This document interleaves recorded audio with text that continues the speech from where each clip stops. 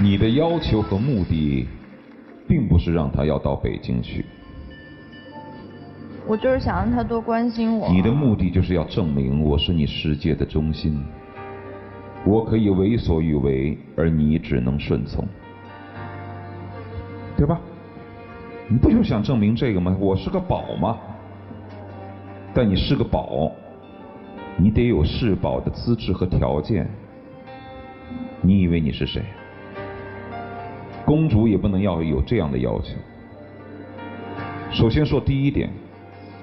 刚才周小鹏说“以心换心”，乍听好像这话没错，真心换真心嘛。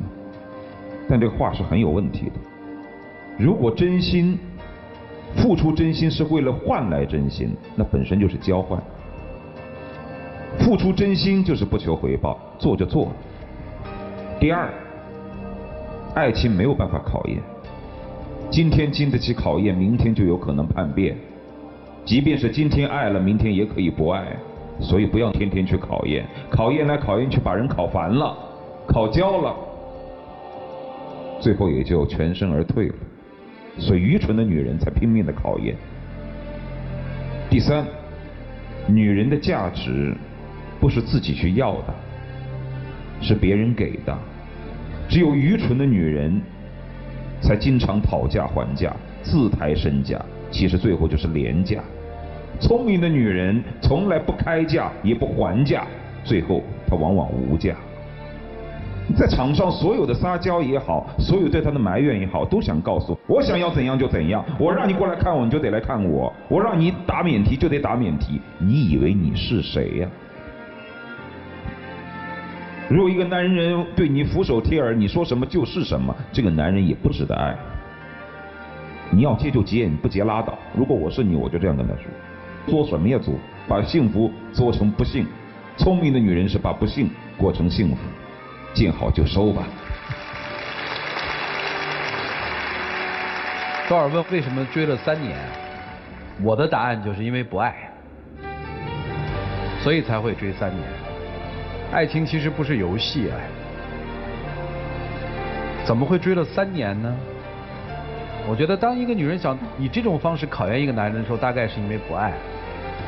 其实你是没有为他真的怦然心动过，他是用三年的时间把你的心给熬过来了，就是我像焐石头一样的，一点一点焐热了。所以当那个温度稍微降一点的时候，你就觉得，哎，这个温度不对了。真的爱的话也不会走。我觉得你们再慎一下吧。就是不那么急考虑说我们要结婚，你们先把眼前的事情问清楚自己。女生，你问问自己，我是真的爱这个男人吗？男生你也问问自己，当你们在一起谈恋爱之后那一年，一个女人要走，如果我是特别爱的一个女人，我怎么会舍得她离开呀？你爱她吗？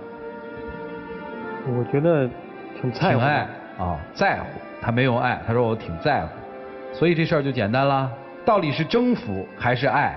你们先把眼前的事情问清楚自己。好了，我们一起进入港荣蒸蛋糕，好吃不上火的黄金六十秒。我是觉得咱俩就是从认识到现在就是在一起六年了，然后我是从来没放弃过这个感情。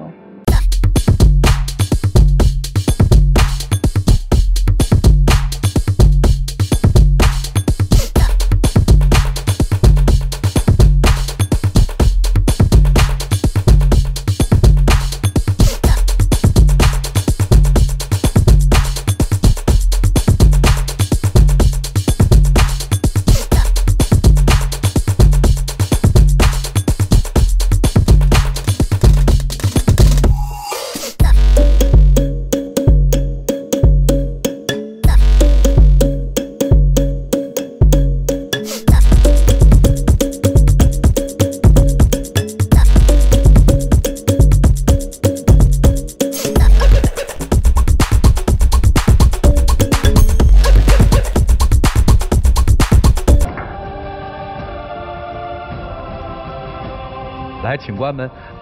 我经常说这个爱情这点事儿啊，直觉其实有的时候变得特别重要。要我男生就很简单，回不回来，回来就结婚嘛，不回来就算了。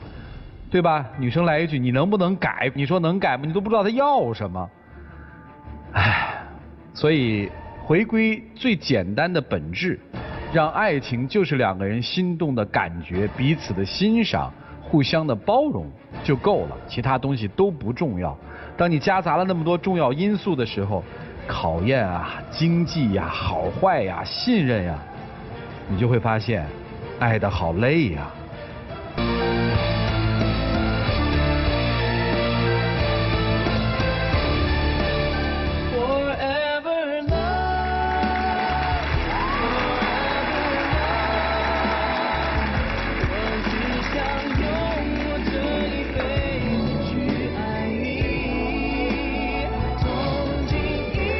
哎，你觉得他能改吗？你都出来，人家一点都不主动，是你先迈的前三步。别作了，孩子，好好结婚吧，开开心心的结婚，好好过，好吗？祝你们幸福！来，有请我们的小花童，有请。